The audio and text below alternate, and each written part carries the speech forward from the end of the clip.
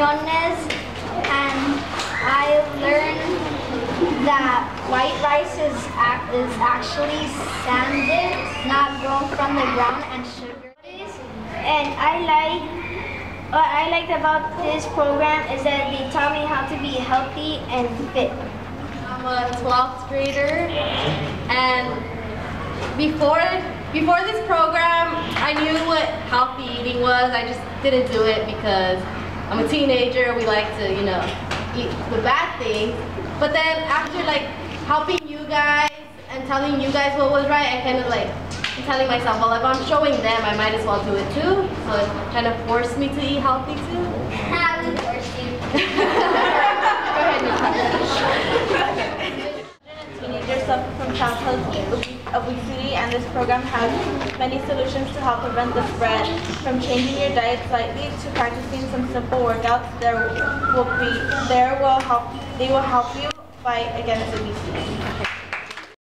My name is Wendy Perez. So SOS Mentor has become a very life-changing experience. I got to learn so much about eating habits and the right choices. Then I got to teach the young kids, which uh, to my surprise, they eat better than the older ones. Of course, we all learned and gained from it, and I am I am glad that I took a part of it and gave some knowledge to the kids about their health. Plus, it was fun. Uh, my name is Rebecca Samayoa. I'm a 12th grader, and I plan to talk to my family about the importance of watching what I put on my plate because the activities were fun and easy to explain to the kids. And now I'm just gonna make a change in my own diet too. Uh, my name is Richard. Uh, mentoring the young kids made me feel good because like I was making them aware of nutrition and then also made me feel like a teacher. Henry Ortega, I am an 11th grader.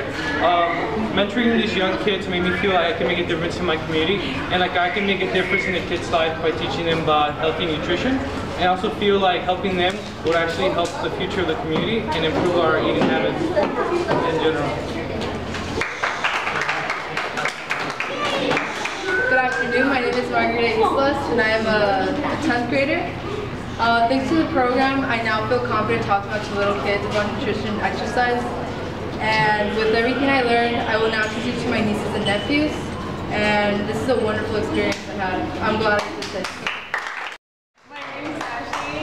I'm a 10th grader, and my, my friends are proud that I am an SOS because they never thought a program would ever change the way I eat. It convinced me to change my diet for many reasons, but the most important one that if my students can change their diet to be healthy, then I can too. Mentoring the younger kids was a lot of fun, and they inspired me to now mentor my younger family members so they can have a longer, healthier life.